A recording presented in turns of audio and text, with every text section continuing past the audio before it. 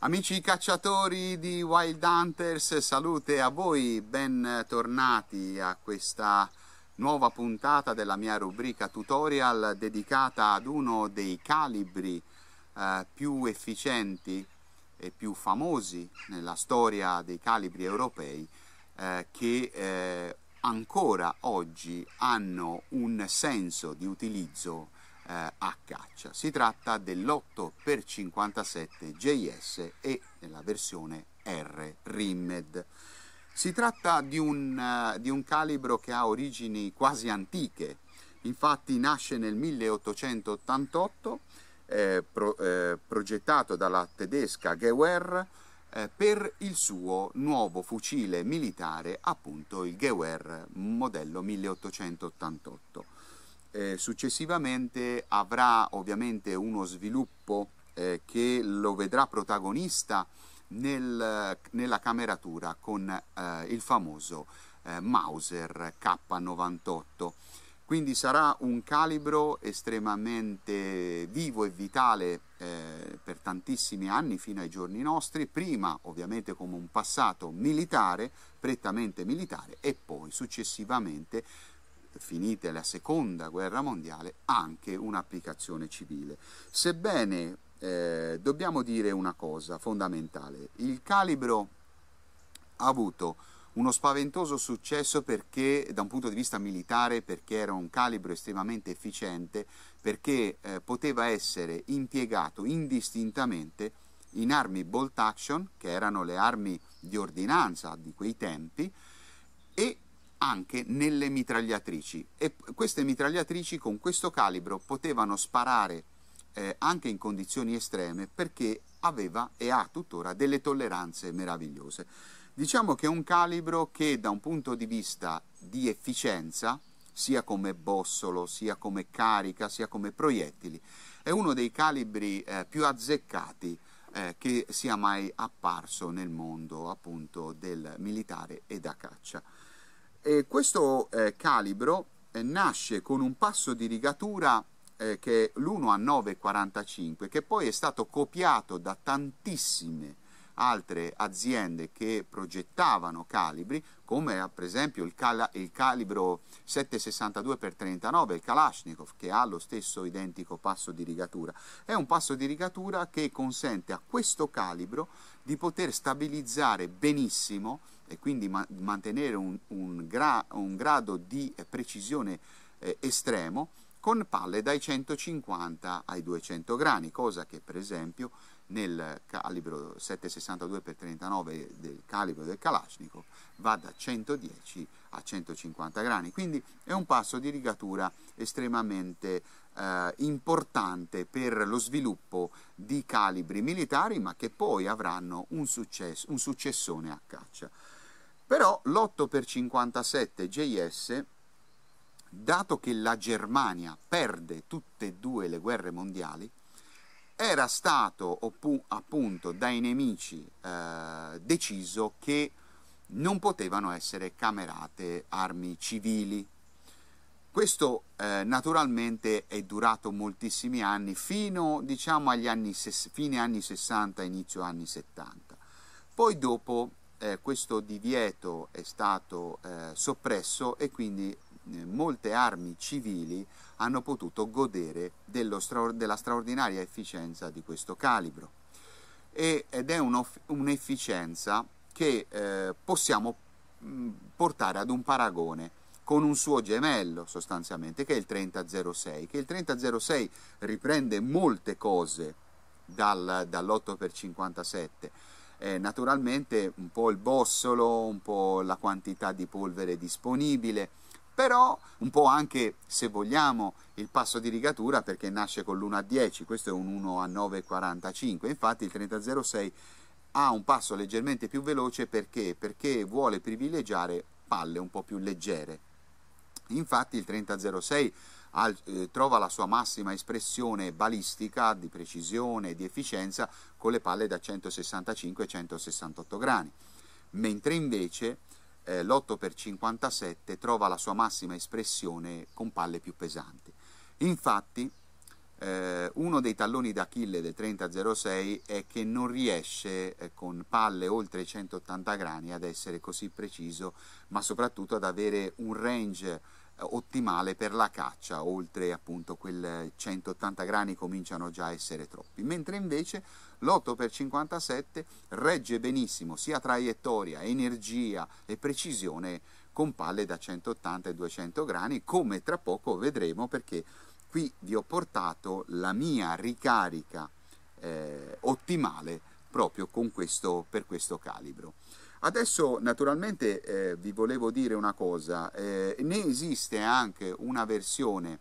eh, Rimmed, eh, infatti l'8x57 GRS, che viene eh, camerato nelle armi basculanti, quindi nelle, negli espressini, eh, nei, nei, monocanna ed è una, ed è un, una versione un po' meno, un po' depotenziata, leggermente 5-10% rispetto ovviamente alla versione JS per una questione di non eccedere sulle pressioni eh, visto che appunto il basculante è un'arma molto almeno sulla carta molto meno eh, robusta di un bolt action ad esempio eh, ma è un, un, un, calibro che ha avuto un grande successo, anche l'R, la versione Rimmed, soprattutto nei basculanti non troppo esasperati. E mh, ritornando ai nostri bolt action, questo è purtroppo la sconfitta nelle due guerre mondiali ne ha limitato moltissimo.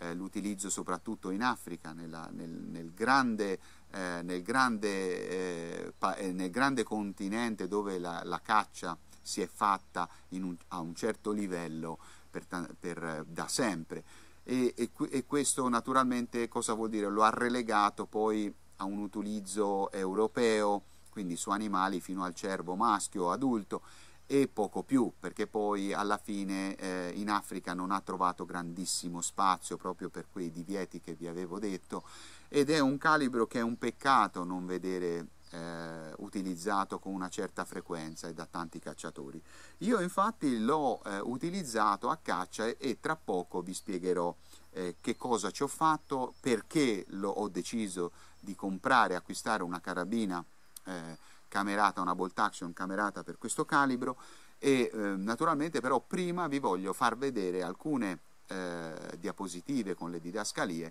appunto eh, sia storiche del calibro sia più moderne con la mia esperienza con la mia carabina e vi voglio far vedere alcune, alcuni selvatici eh, presi a delle distanze siderali con questo meraviglioso calibro.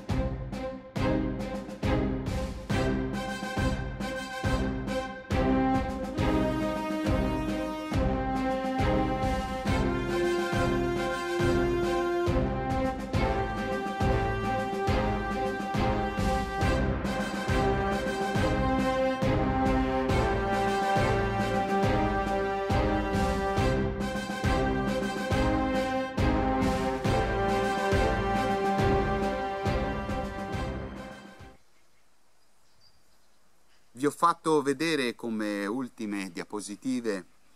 eh, quel daino balestrone preso a Siena e sparato a oltre 500 metri insieme all'amico Emiliano Noferini. Eh, fu, è stato uno dei tiri più belli che ho fatto nella mia vita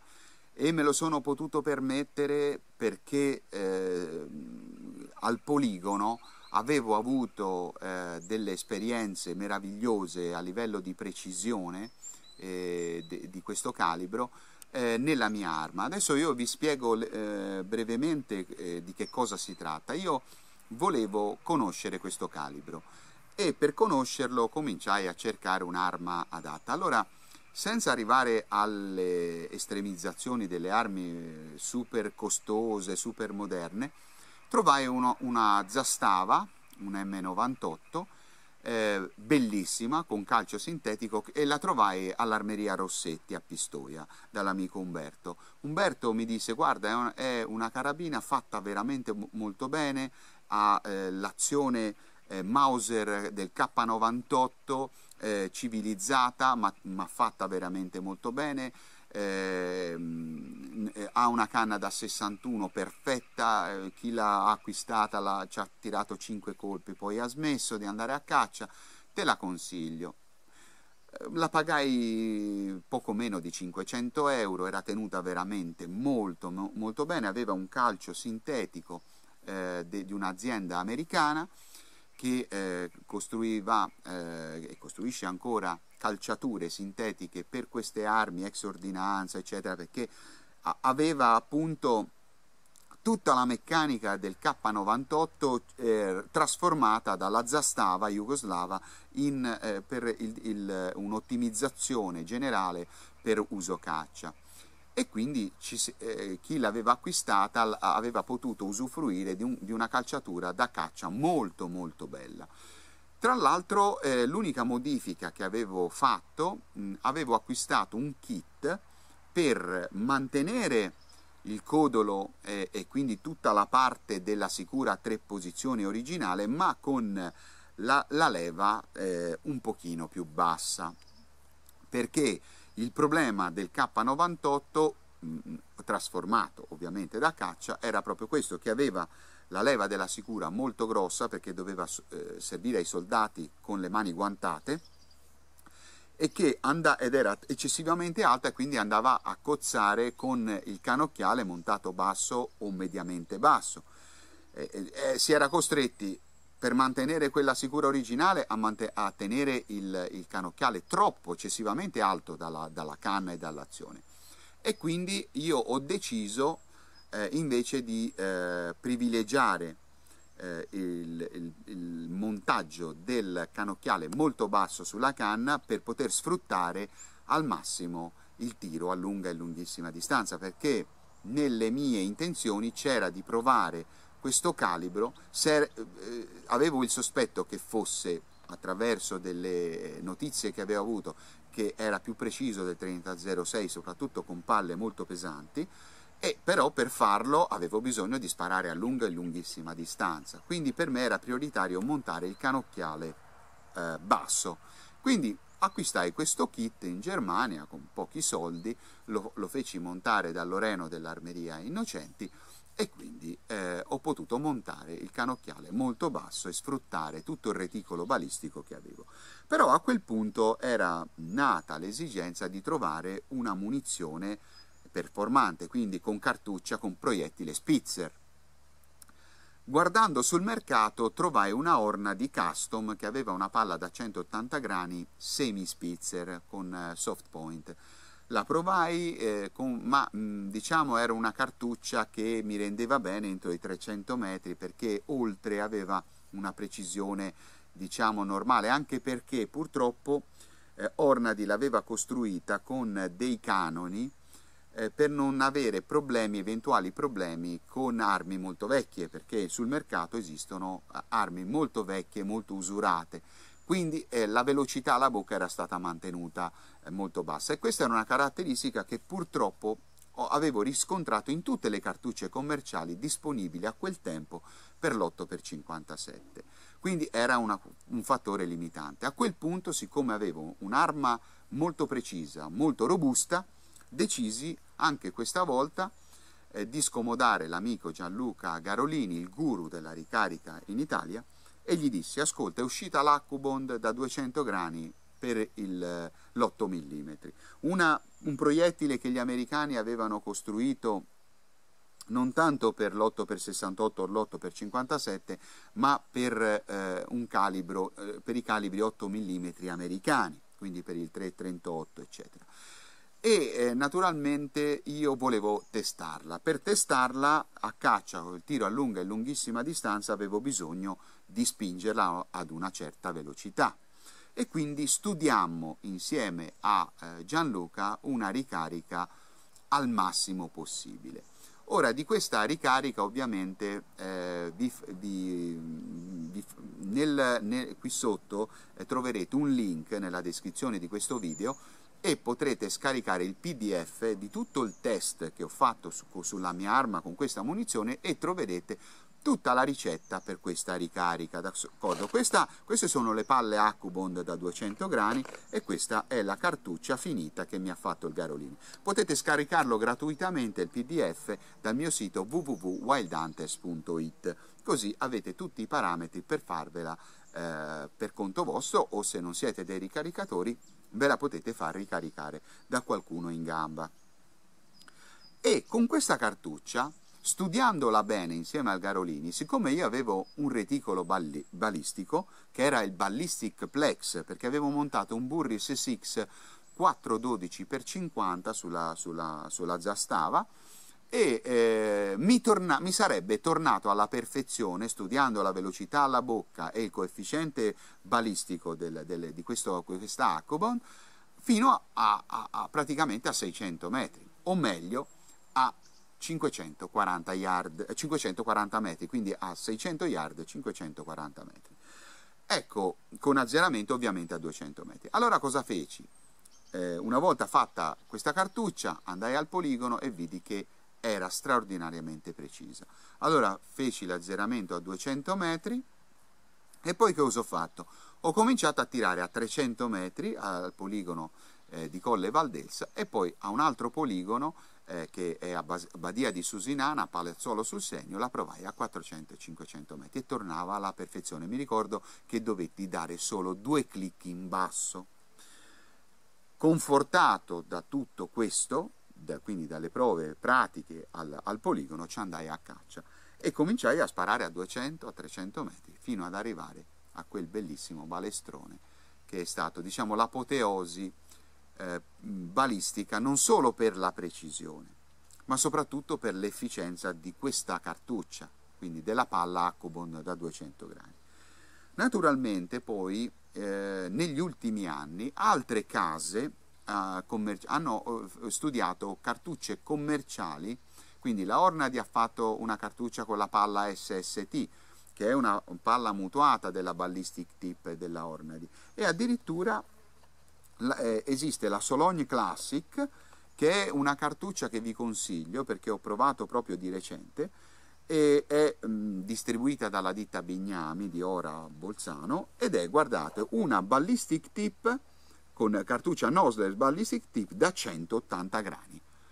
e questo vi, cons vi consente di avere un, un, range ancora migliore rispetto a una 200 grani poi la ballistic tip è una Accubond eh, diciamo un pochino più morbida e che quindi eh, addirittura a lunghissima distanza può espandere ancora meglio dell'Accubon ed ha, mantiene la stessa identica eh, precisione. Quindi questa è una cartuccia commerciale che vi consiglio perché eh, vi, vi, consente di essere molto più precisi rispetto al 3006. 3006 eh, a quelle distanze non è così preciso su armi da caccia. Quindi eh, ecco perché quali sono i veri vantaggi dell'8x57 sul campo di caccia rispetto al 3006. È un vero eh, calibro tutto fare,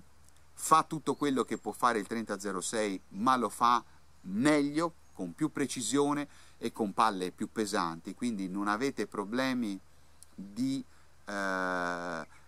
di efficienza eh, di balistica terminale su grossi cinghiali e su grossi cervi non ce l'ha nemmeno il 3006, ma qui siamo a un livello effettivamente superiore. Ecco dove brilla l'8x57, un calibro purtroppo che è stato sconfitto in guerra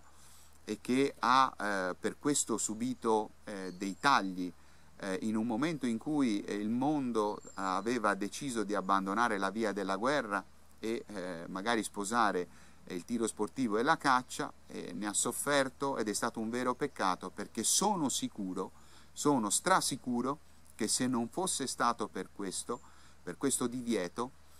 eh, questo calibro avrebbe surclassato il 3006 sicuramente sui mercati europei e sul mercato africano, ma avrebbe dato molto fastidio al 3006 anche negli Stati Uniti d'America, in Australia e Nuova Zelanda. Bene signori, eh, vi aspetto eh, per, mio, eh, per, la mia trasmissione Armeria Magno dedicata alla Zastava eh, M98 di mia proprietà in 8x57 in cui vi farò vedere l'arma, vi farò vedere il reticolo che ho utilizzato, vi spiegherò questa ricetta magica eh, per l'Accubond da 200 grani e vi eh, darò altri ragguagli su questo calibro a caccia. Bene signori, ci vediamo eh, alla prossima puntata con i nostri tutorial.